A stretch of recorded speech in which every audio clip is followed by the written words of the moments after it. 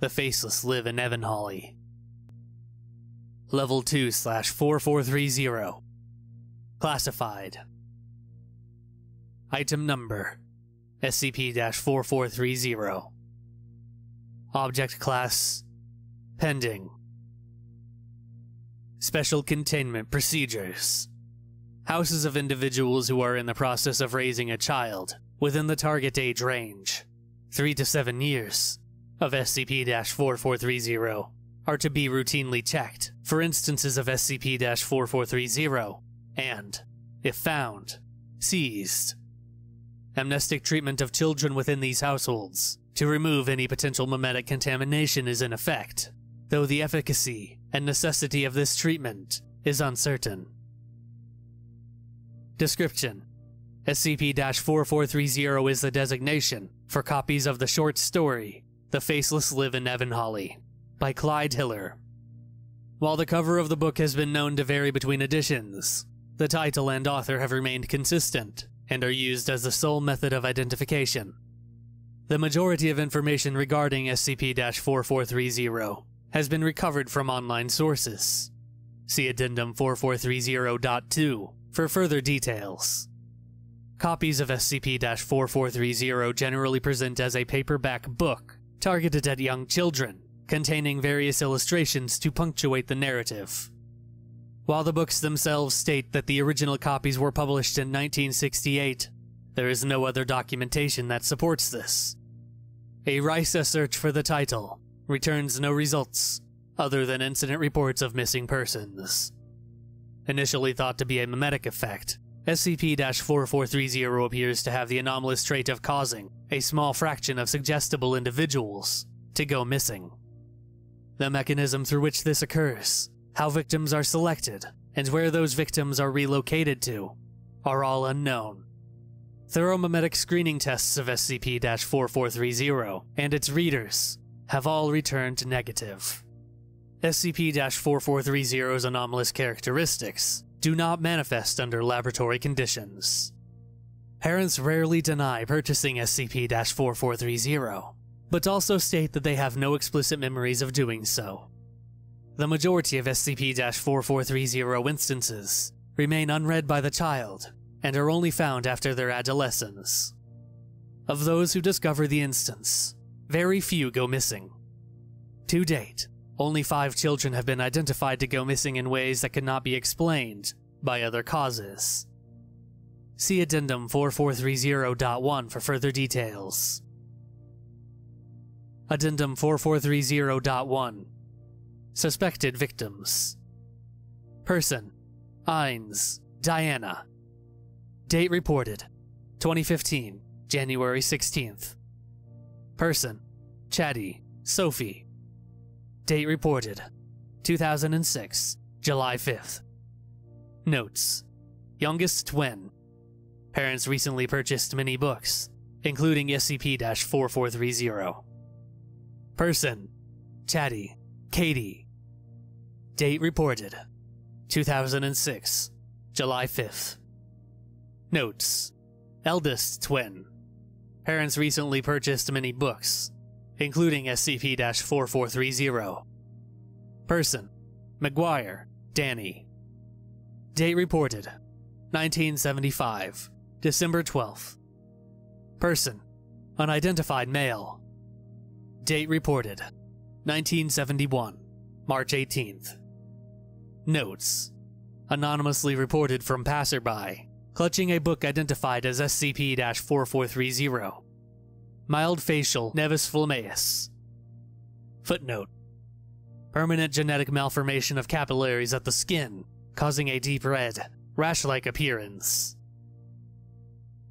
Addendum 4430.2 Parawatch Forum Post. Fires. March 29th, 2015 Saturday 31919 Number 8737463 Many people know Watership Down and The Plague Dogs as children's books that stick with you. Despite their saccharine appearance, the novels contain mature themes and content. Missing from this trinity is the often overlooked and overshadowed The Faceless Live in Evanholly.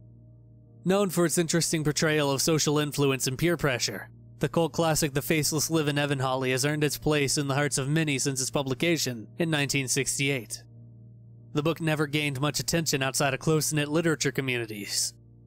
As such, The Faceless Live in Evanholly can be found solely in charity stores and yard sales, buried between unwanted vinyl records and droves of musty, unread romance novels. Interestingly, despite poor sales figures, The Faceless Live in Evanholly has had multiple editions published, each complete with new cover artwork. Avid fans of the book have tried to collect all of the published editions. Notably, the fourth and sixth editions are particularly elusive. First edition, 1968. Standard issue hardback, with only the title and author printed. Second edition, 1971. A small, porcelain mask splattered with red paint is printed below the title. Third edition, 1975. Two small porcelain masks are being raised by a figure from below the frame. The red paint mask is on the right. Fourth edition. Undocumented. Fifth edition, 2006.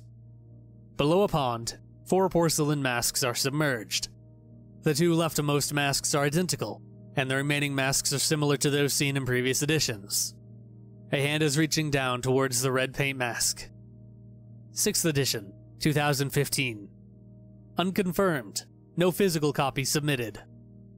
The Faceless Live in Evanholly is set in 1960s America and follows the actions of Leon, a child of undetermined age and race, who runs away from home after his parents berate him for a large birthmark that streaks across his face like a glass of rich red wine.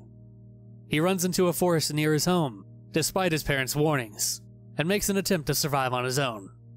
Leon creates a reasonable shelter forages for blackberries, and finds fresh water. However, despite Leon's best attempts, he cannot figure out how to make a fire to keep him warm. As dusk is fast approaching, Leon becomes colder and colder still.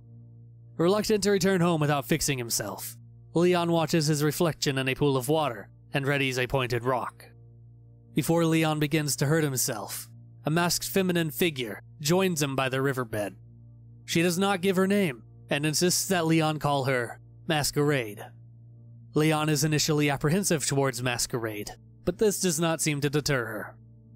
Masquerade asks Leon if he thinks his parents were right to berate his appearance. Leon, angered by her insensitivity, shouts that he agrees with her criticisms. He sees himself as freakish and cursed, so he should accept his place. Interested by his acceptance of his situation, Masquerade then asks why Leon hates his face. Leon looks at Masquerade, exasperated, and simply states that he hates his face because it causes everyone else to hate him. As dusk descends on the forest, Masquerade reasons that the only reason Leon hates his face is because everyone around him judges him to be a freak because of it. Masquerade points out that he should not hate his face then, but instead hate everyone that cast him out. Masquerade states that Leon would be happier without a face, since without a face, there's nothing for anyone to cast hate upon. She asks if he would be willing to give his face to her, so he could live in Evanholly. He accepts, and Masquerade pinches Leon's chin and pulls upward, removing his face like a porcelain mask. Leon states that he feels a sense of relief, like a weight being removed from his shoulders, or a deep sigh from within his soul. The final images of Masquerade in a clearing, alone, throwing a porcelain mask into a well.